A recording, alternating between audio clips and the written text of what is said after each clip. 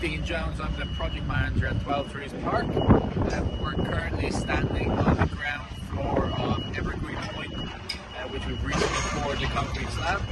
Um, piling works are now fully complete and we're progressing with drainage and the rest of the slab in this area. Um, the next milestone for this building will start bringing the vertical concrete elements to the first floor, first floor and then pouring the first floor slab.